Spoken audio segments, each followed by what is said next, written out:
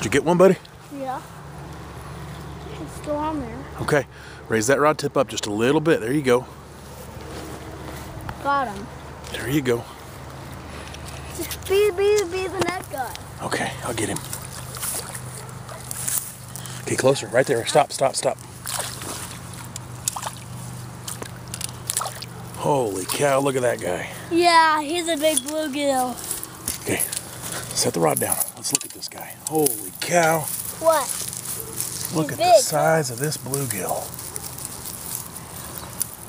That's our first fish of the day. Holy crap log. Oh, holy cow. Look Holy at the size right. of that thing. It's freaking huge, man.